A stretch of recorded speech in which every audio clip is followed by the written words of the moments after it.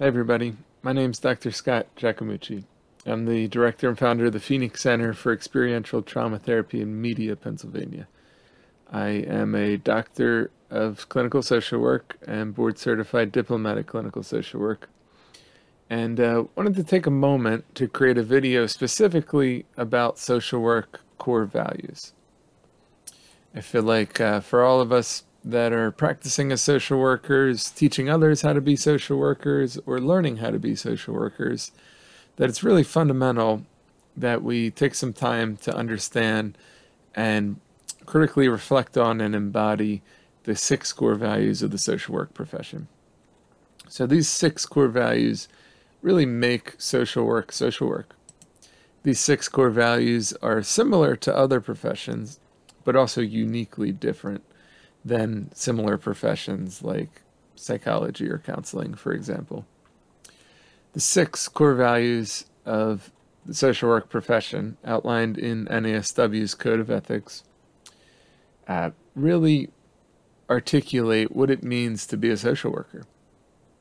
And so it makes sense then that any of us wanting to be social workers or wanting to be better social workers uh, might spend some time reflecting on these six core values.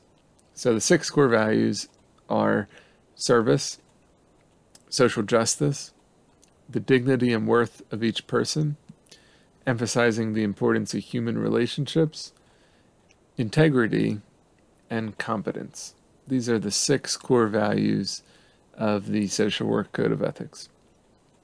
In a moment, I'm going to go into more details about all six of those core values.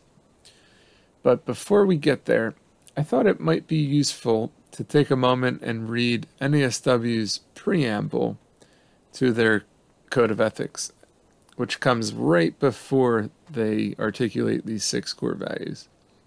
I thought the preamble here really sets the stage for understanding the philosophy of the social work profession and these core values which uh, emerge from, from and uphold the social work profession. So the preamble.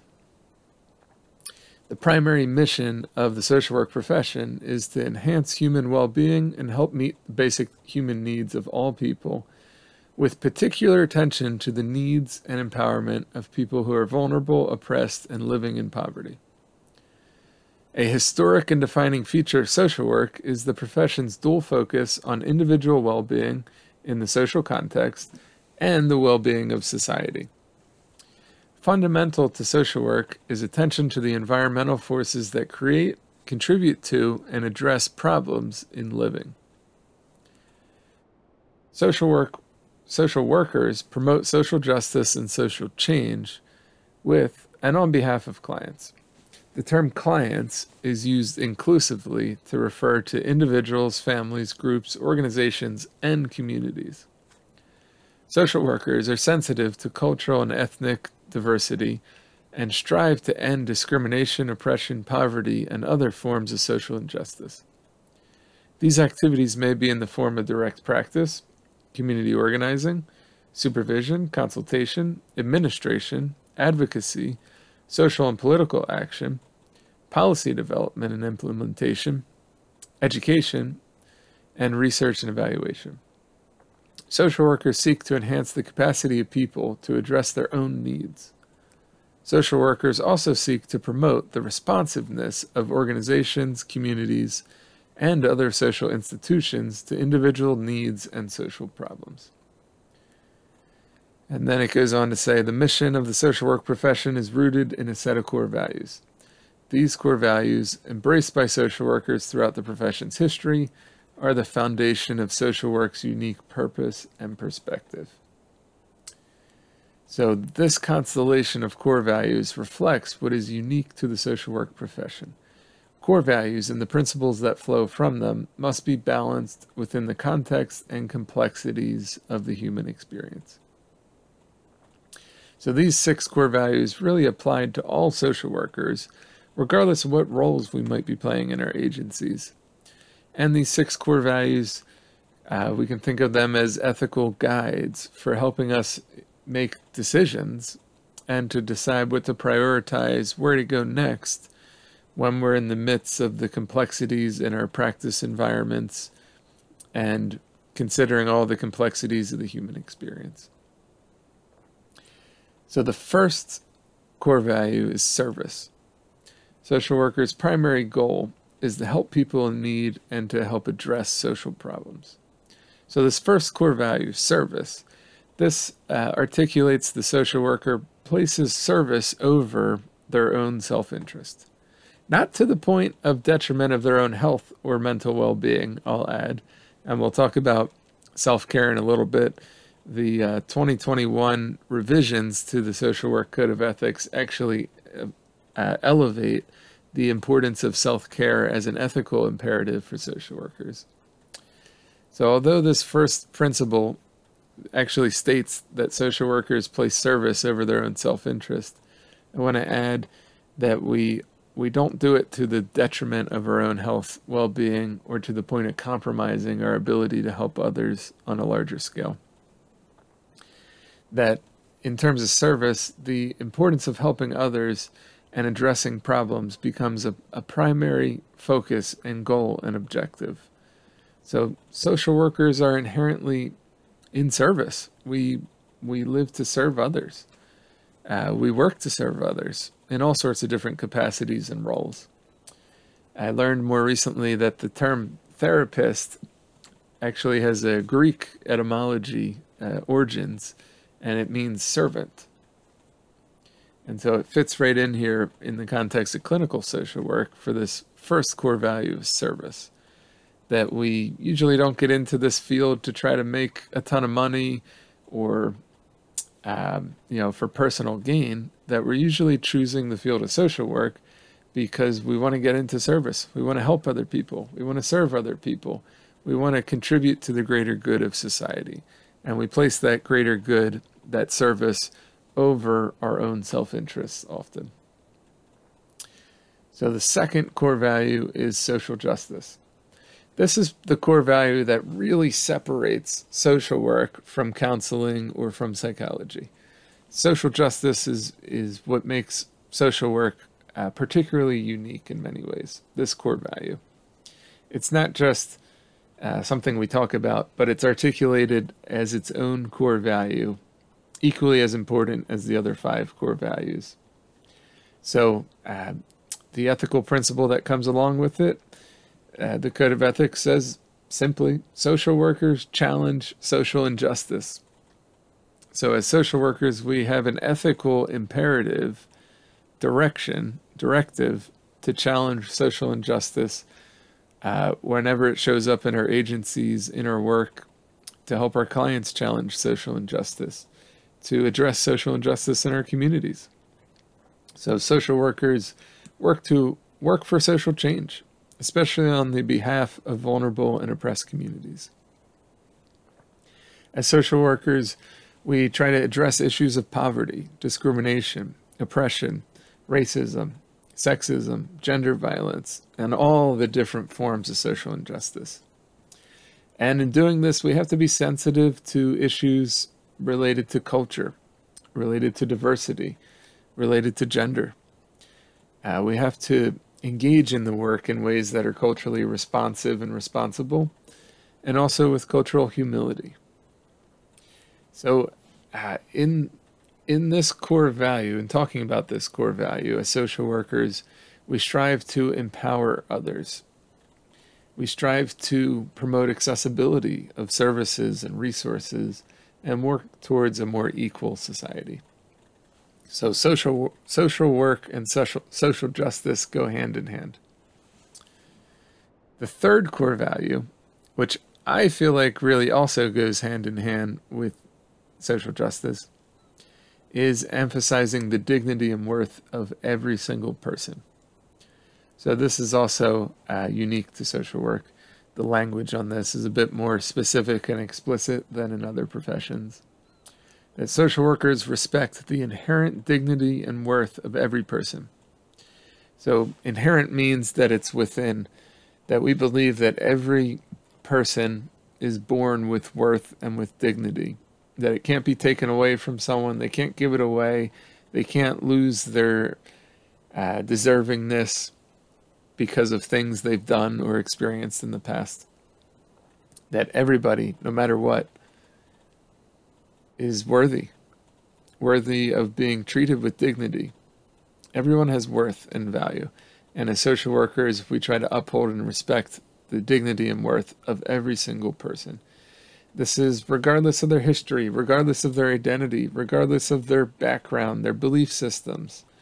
Uh, as social workers, uh, we really try to see the goodness in others. Social work is inherently a strength based philosophy in this way. And the reason why I feel like social justice and seeing the dignity and worth of each person go hand in hand is that we can't we can't uphold one without the other. We can't fight for social justice if we don't believe that every person, regardless of their identity, regardless of their position or access to resources or race or wealth or gender, has dignity and worth. Uh, we can't we can't fight for social justice unless we believe in the dig- dignity and worth of each person in each community. And similarly, we can't uphold the dignity and worth of each person if we don't challenge systems, policies, practices, or others who are doing things that devalue the dignity and worth of, of an individual or a group or a community. So I feel like social justice, dignity, and worth really go hand in hand in this way. The next core value is about the importance of human relationships. So this is also uniquely social work. Uh, social workers recognize the central importance of human relationships. This is the ethical principle. So, as social workers, we consider the individual within the context of their social environment. We we're one of the first professions to focus on not just the individual and their psychodynamics, their feelings, their emotions, their internal drives and parts, but also the social forces, the social environment, the sociodynamics uh, and the society, communities in which they're a part of, and how that impacts their health and well being. So, as social workers, we believe that relationships are the vehicle for change. And this is, you know, really uh, supported by all the psychotherapy research, emphasizing the importance of the therapeutic relationship as one of the most important qualities, most important factors in all outcomes research on psychotherapy. Same is true in group work, that the matrix of relationships in the group, the group cohesion, is uh, synonymous to the therapeutic relationship in one to one work. And, and similarly, we could think of this same concept on a larger scale in a community and in organizations or society that the matrix of relationships or the sociodynamics are the vehicle for change. One person in the community supporting another person in the community. One person in an organization supporting someone else in an organization. One person in a group being a therapeutic agent for somebody else in the group. One human in society offering love and care for another human in society. Relationships are the vehicle for change. And as social workers in the change process, we try to really emphasize co creation and collaboration uh, within this helping process. That we view the client as the expert in their experience, and we try to dismantle some of the power dynamics that are inherent when there's a client and professional relationship or a client and therapist relationship or a professor and student relationship that we uh, really try to make it collaborative. We try to share decision making as much as possible. We try to emphasize co responsibility and co creation. And all of these ideas are really, I think, embodied particularly in social work with groups. I should say, embodied even more so in social work with groups. So, as uh, social workers, peer support and community support become particularly important in the context of the importance of human relationships. And much of our work as social workers is about helping clients develop social skills and helping them to uh, cultivate and enhance meaningful relationships in their life.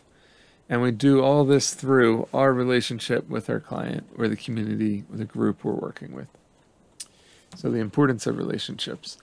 This is really um, validated, this core value, really validated and supported by all the new research that's been emerging on interpersonal neurobiology. Really emphasizing how, as human beings, uh, we don't grow up as individuals. Our brains grow in relationship to other brains. That uh, nobody grows or gets sick in uh, by themselves. That we're all impacted by relationships, by attachments, by our caregivers, by our families, by our communities. That uh, relationships and social forces play a huge role in the development, healthy development of any individual, and also play a huge role in all, most or all social and psychological problems or issues. So, the importance of relationships.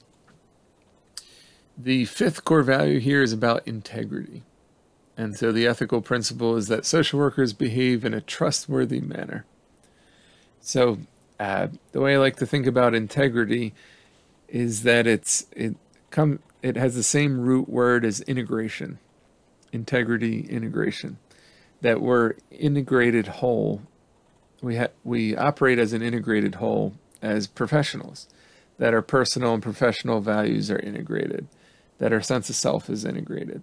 That we're integrated in our actions, our beliefs, and our words, really that we practice what we preach, that we say what we mean, and we do what we say we're going to do, that we have integrity, and that we can be trusted, uh, that we practice and build professional relationships in ways that are uh, trustworthy.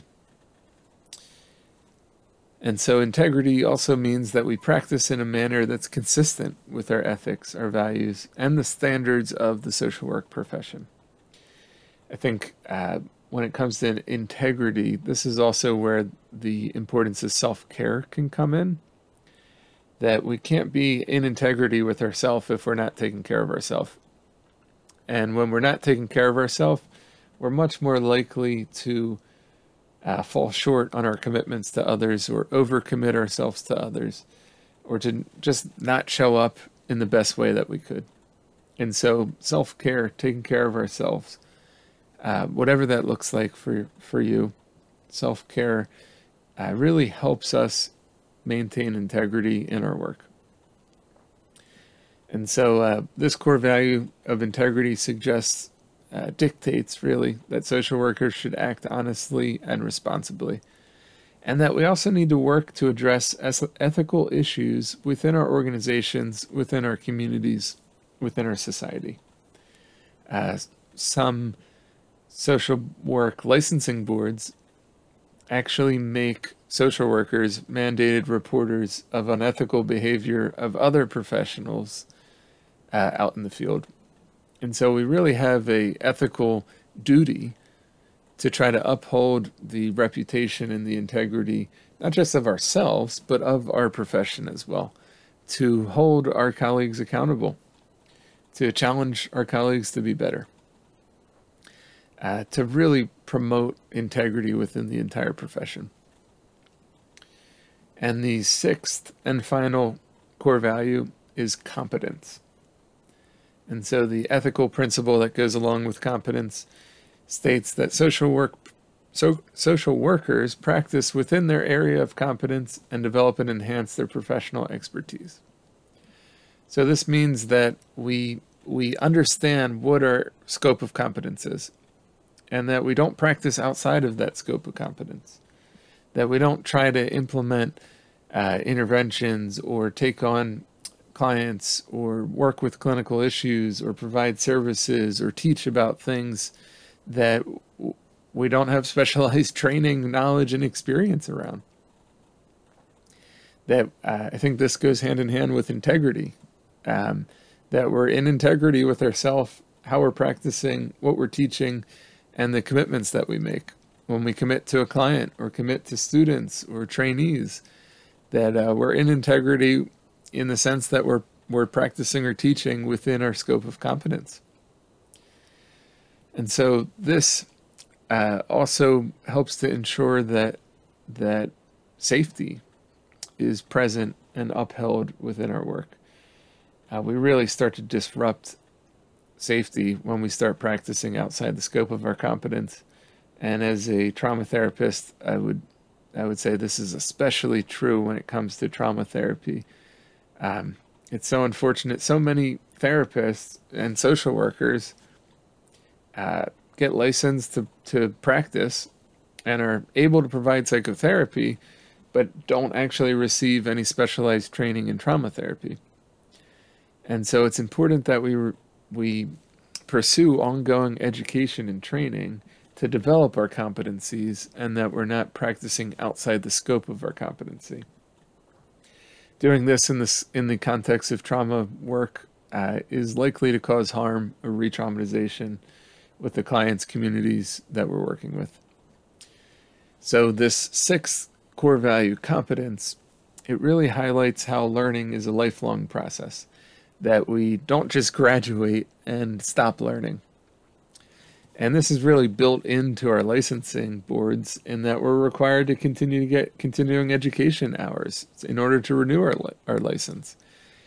And personally, I think the 15 hours a year or whatever it is, state to state, is not enough. Um, I know there's you know limits to accessing trainings financially for many folks, but there's plenty of free trainings and low cost trainings that you can find online and many that are good. And it's worth investing in our continuing education and training, uh, paying for continuing education, paying for trainings. I think uh, 15 hours a, a year, even though that's the, the requirement by the licensing board, I feel like it's just not enough. Um, but this core value emphasizes that we continue to learn, to grow, to, to receive supervision, to access consultation, we continue to try to be better social workers. Interestingly, this core value competence also states that social workers should strive to contribute to the knowledge, theory, and research base of the profession. Not only that we try to learn, but we also try to contribute to better understanding the complexities of the human experience and different areas of social work practice engaging in research, evaluation, getting feedback from our clients, uh, sharing what we've learned with others on YouTube or at conferences or by supervising graduate students or folks working towards their license, participating in professional conferences, uh, presenting events, CE events, trainings. Uh, these are all different ways that we can contribute to new knowledge, theory, research. Writing and publishing is another way. So these are the six core values of the social work profession. Um, and uh, I want to acknowledge at the end of the video here that the most recent update to these this uh, code of ethics, uh, which came in 2021, it included languages that highlights the importance of self-care, but it also included some revisions to competencies around uh, culture, cultural competency. And so it, it really explicitly emphasizes self care and cultural responsiveness, uh, working to address social injustice and oppression in much more explicit ways than the, the Code of Ethics used to articulate. Uh, if you wanted to read the entire Code of Ethics, uh, which I really encourage you to do, and I feel like every social work student and practitioner should be required to read the full Code of Ethics. Uh, you can find that uh, on NASW's website. I'll put a link to that in the description of the video below here. So uh, I hope you found this video useful. Um, if you wanted to share some feedback in the comments, I encourage you to do so. What did you learn from the video? What did you find helpful? What do you think I may have missed or not articulated uh, enough or well in this video? Go ahead, uh, give me some feedback in the in the comments below. Um, if you have any suggestions for content for future videos, would love to hear about what you're interested in learning more about. If it's within the scope of my competence, I'll uh, make a video about it. If not, uh, I won't. Or maybe I'll go take a training on it before I make a video on it. Um, and if you wanted to be updated, notified anytime a new video on this channel is released, uh, you could click the subscribe button.